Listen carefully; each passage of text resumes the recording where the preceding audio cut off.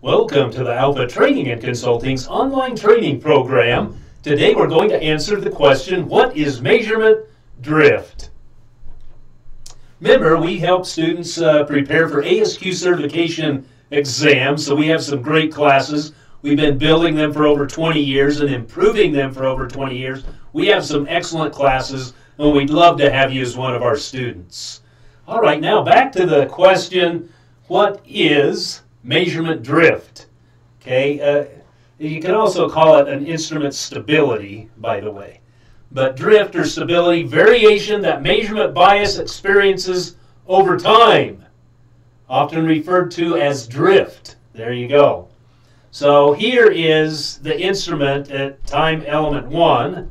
Maybe this was five months ago, and you can see the drift in the average here. It changes over time. That is drift. How quickly it changes over time represents how stable the instrument is. So some instruments you only have to calibrate every year or so, and some instruments you have to calibrate after every use. So if something could hold over a year, that would be considered a stable instrument and one that had to be calibrated after every time you use it, that would be considered not as stable of an instrument. So hopefully that helps. Let's go to the whiteboard. I have a little graph there I've drawn up, and let's go over this in a little more detail.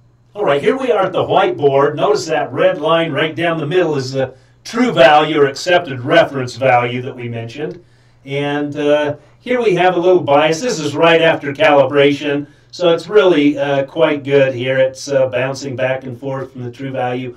By the way, what I'm plotting here is the measured value, what I measured, but it's pretty close to the true value right after calibration. And these black lines out here, those are that's the upper and lower spec limit. So as long as the true the actual measured value is within these spec limits, you're okay. You're falling within spec limits, so it's considered a calibrated instrument, an acceptable instrument. But as you can see, over time, what happens? Oh no, starting to drift further and further away from the true value. In other words, the bias is increasing over time. And then uh, eventually it keeps going up, going up. Oh no, it crosses over the spec limit. Now it is not an acceptable instrument over here.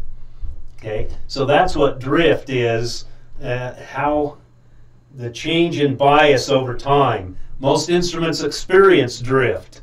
Now, if let's say this was one year out, uh, one year you decided, okay, I'm going to let this go from this period of time to this period of time because look, we look pretty safe of not violating the spec limit.